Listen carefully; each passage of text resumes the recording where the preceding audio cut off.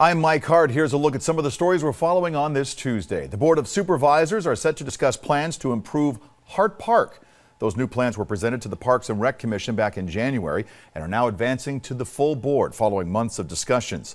The new plan includes adding a leash free dog park, a new kids adventure area, repair and rehabilitate the restrooms, and a new equestrian area, among other things. The meeting is set for 2 o'clock this afternoon at the board chambers on Truxtun Avenue.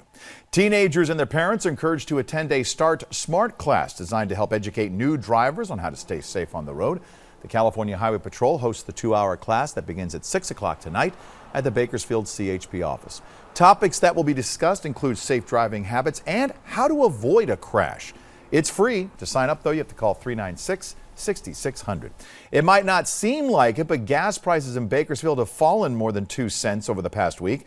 GasBuddy's daily survey of 300 stations showed the average in Bakersfield to be a little more than 3.25 a gallon. Gas prices in Bakersfield are reportedly about a penny and a half per gallon higher than a month ago, but almost four, uh, over 4 cents lower than a year ago. The cheapest station in Bakersfield sits at 273. All right, let's take a look at a different set of numbers. Bring in Elena and uh, check out our Tuesday forecast.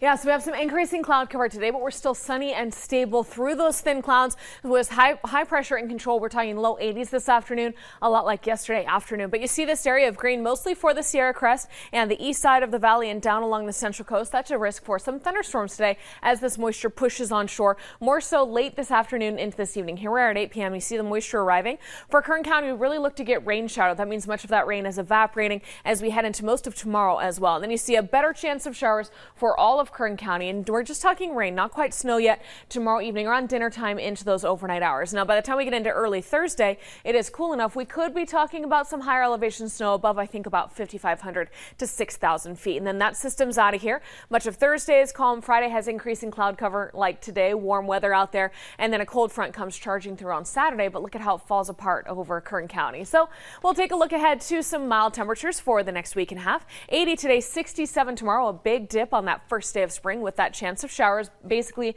tomorrow night around dinner time's the best for it. Clearing out Thursday, a little warmer Friday. That cold front which falls apart for us Saturday is not the best rain chances, but keeping us cool and breezy that day. Sunday 71, Monday 80, and then take a look ahead because there's another chance of rain that might try to move in next Wednesday.